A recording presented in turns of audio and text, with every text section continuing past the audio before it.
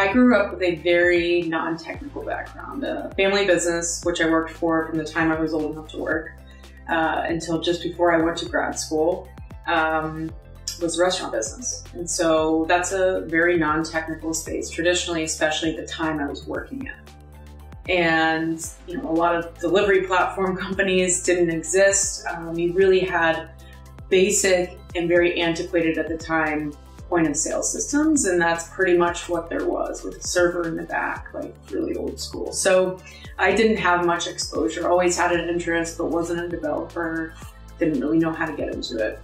And was interested in pivoting my career out of the restaurant business, at least temporarily, and decided to go to grad school. Uh, I guess not the reason most people go to grad school. But I went there and, and, focused on as many different industries as I could, learned as much as I could, studied international business and was able in that program to go to Israel for two weeks and to China for two weeks. And what we did was visit all different types of companies from all different industries. And you know, we went to places like Alibaba in China pre-IPO. We got to go into their data room and had real-time metrics pinging from all over the world. And I thought it was the coolest thing I'd ever seen. We went to venture capital funds. We went to biotech companies in Israel. I mean, everything you can imagine. And we went to a kibbutz, a uh, community farm over in Israel, and there was a huge focus on sustainability and um, waste mitigation and uh, I guess finding ways to, to use less water, use fewer resources. And there was a company called Netafim, and it's a slow drip irrigation system. You can see it in any country all over the world and it's really cool. And I just thought that aspect. So I did a, a follow up project fo focusing on, um, you know, I guess sustainability and, and resource management, and fell in love with both applications, technology, sustainability.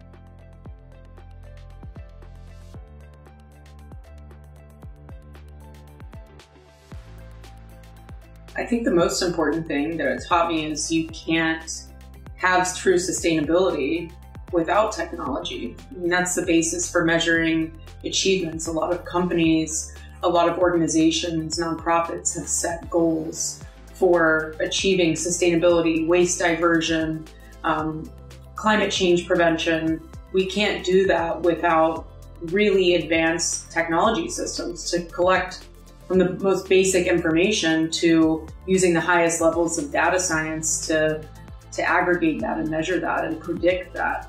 Are we on track? Are we not? So I think, you know, early on thinking about that those two things have to go together in order to be a market leader and to truly drive and create impact industry by industry, business by business, I guess individual household by individual household, um, we don't get there without really good tech. And, and that's definitely what Rubicon's focus is.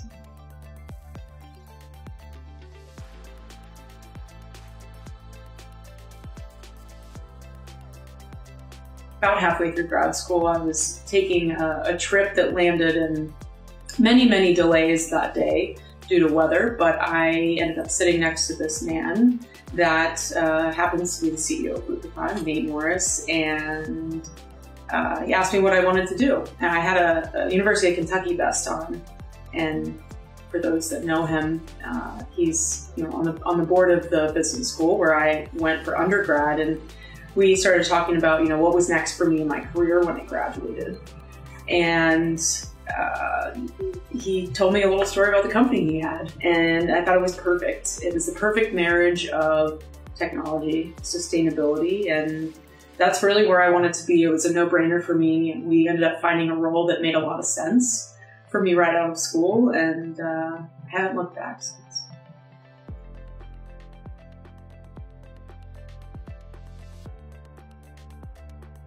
I would say that you need to leverage your network. Um, your network can always grow and improve, but I think that the point that you start the business, the people that either advise you, are your mentors, or invest in you um, are going to be your greatest assets moving forward. And most often, those are the people that encourage you to start the business in the first place. If you have a good idea, or they just know that you know you're you're pretty capable of, of doing um, something profound from the business side of things.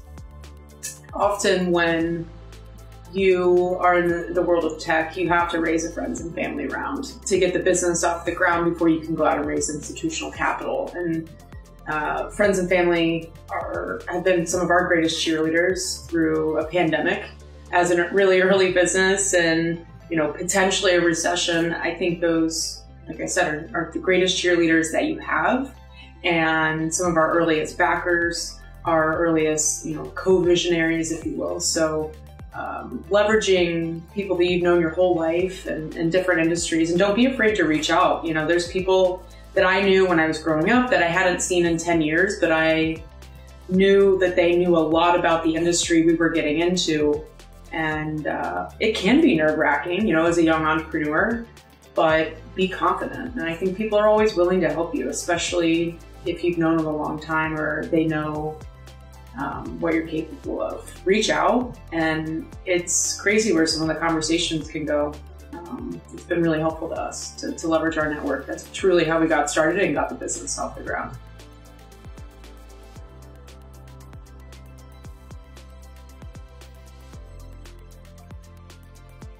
Native is an artificial intelligence platform that services the consumer packaged goods and consumer brands industry. Essentially, what we do is solve a problem that's really challenging for brand managers, marketing managers, and R&D managers of these companies today. So consumers become pickier and pickier, expect more of their brands, and rightfully so in terms of sustainability being one of the, the biggest items there. And there's chatter all over the web, more and more reviews uh, are prevalent. You know, the more sales channels you sell through on the e-commerce side of things, there's information everywhere. And in those roles, it's really hard to aggregate that information. So what we do is first um, aggregate information into a centralized, easy to use dashboard. Uh, we can collect things like their UPC codes, um, Amazon IDs, pull all the reviews per product. And then we organize that accordingly to make it make sense and how they want to run reporting. How are we performing at Target with this group of consumers, with this product category? versus the Walmart consumer, because those are very different types of consumers for us. And that's something that's not easy to do today. You can manage sales data, but we really focus on qualitative. And uh, that's never really been easy to do before. Uh, we use a specific form of artificial intelligence called natural language processing. So once the information is organized, we run it through our NLP engine and it draws insights in fractions of a second. So what do people think about, you know, freshness, flavor, packaging, value for money, texture if we're talking about fashion products. Um, you know, we can do everything like cosmetics. Uh, we can measure, you know, brand metrics, make it easy for these guys to, to funnel back into R&D. People don't like this about our product. They love this. Well, that also relates to how we should manage SEO for our products on Amazon, Walmart, Whole Foods um, any of the retailers that we're in.